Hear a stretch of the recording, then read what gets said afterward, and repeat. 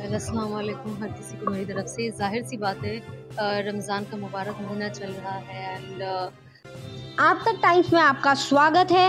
जनाब जाहिद यूनुस खान साहब के रमज़ान सामियाने पर दावत और मुलाकात करते हुए नज़र आए।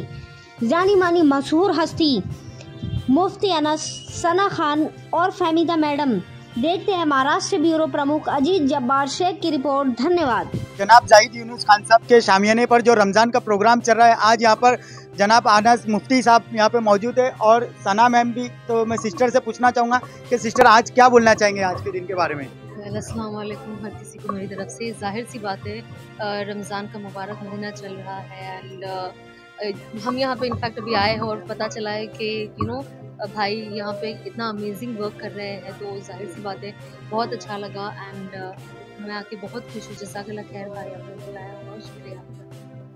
मैं जहाँ आनंद भाई से पूछना चाहूँगा सर आप क्या बोलना चाहेंगे जिस तरह से प्रोग्राम रमज़ान के बाद? वसलाम रसूल करीम पहले तो सबको बहुत बहुत रमज़ान मुबारक हो और आज आने वाले कुछ दिनों में ईद है वो भी मुबारक हो। जाहिद साहब का हुक्म हुआ था तो उनके हुक्म की पायदारी करते हुए हाज़िरी हुई है। माशाल्लाह, यहाँ आने के बाद पता चला कि बड़ा ज़बरदस्त ये काम कर रहे हैं पूरी इनकी टीम। ख़ास तौर से पूरा साल ये एजुकेशन, मेडिकल पे काम करते हैं। और रमज़ान मुबारक में शहरी का इफ्तारी का बता रहे थे, डेढ़ दो हज़ार बंदे का इंतज़ाम करते बहुत बड़ी बात है अपने आप में। रमज़ान जो है ना, ये ज़िंदगी के बनाने का महीना है। पिछली ज़िंदगी की तोबा कराने का, अगली ज़िंदगी अल्लाह से राज़ी कराने का। और रमज़ान में एक का सत्तर हो जाता है, सारी चीज़ें डबल करता है ना। एक अच्छा घर, एक अच्छी मिडिल क्लास फैमिली के घर में जब खुशी का मौका होता है तो एक वो तबका है जो सिसक सिसक से ज़िंदगी गुजारता है, जिनका पुरसान हाल कोई नहीं है, ना ही वो किसी के पास जाके सवाल करते हैं। तो ऐसे लोगों के लिए ये लोग ज़रिया बनते हैं, ये इनकी आखिरत भी बना रहे और दुनिया का ज़रिया भी बन रहे तो मैं इन सबको खासतौर से जाहिद भाई, इनकी फैमिली और पूरी इनकी टीम को बहुत मुबारकबाद भी दूँगा। और दुआ भी करता हूँ अल्लाह ताला इन सबको बहयासियत आफियत सलामती के साथ रखे कि ऐसे लोग हैं तो हज़ारों लोग हज़ारों लोगों के घर की ज़िंदगी आबाद होती है और हज़ारों लोगों के घर के अंदर सुकून फहमीदा पानोला डिसोला मैडम से भी पूछना चाहूँगा। मैम जिस तरह से आप लोग ने ये प्रोग्राम को रखे तो आप क्या बोलना चाहेंगे?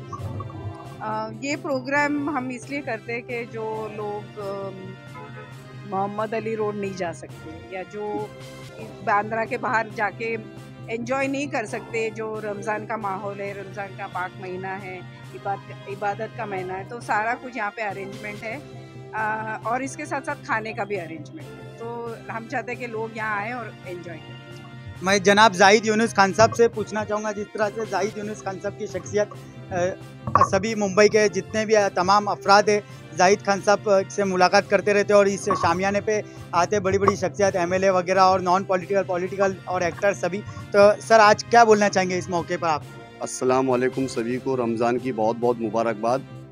और सबसे पहले तो मैं, मेरे बड़े भाई मुफ्ती अनस साहब का शुक्रिया अदा करता हूँ।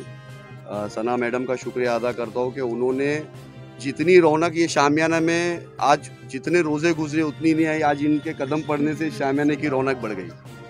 और ये शामियाना इसलिए लगाया गया है, तेरह साल से लग रहा है, ताकि रमज़ान का माहौल कैसा हो, रमज़ान किस तरह गुजारा जाए, रमज़ान बरकतों वाला महीना है, इबादत करने वाला महीना है, चैरिटी करने वाला महीना है, खिलाने पिलाने वाला महीना है। और इस शामियाना में सिर्फ़ मुस्लिम लोग नहीं हर धर्म के लोग आते हैं और हम लोगों ने गंगा जमुना की तहजीब को, हिंदू, मुस्लिम की एकता को ज़िंदा रखने के लिए शामियाना बनाया है।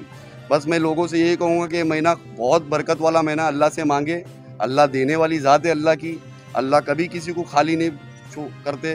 तो इस महीने में जितनी इबादत हो सके, जितनी चैरिटी करना है, करे, लोगों को खिलाए गरीब से गरीब जा जाके ढूंढे। पहले अपने पड़ोसी को ढूंढो कि मेरे पड़ोसी ने खाना खाया या नहीं खाया। उसके घर में कपड़े बने या नहीं बने, ऐसे लोगों को ढूंढ कर उनको चैरिटी देकर रमज़ान के महीने के मज़े लीजिए।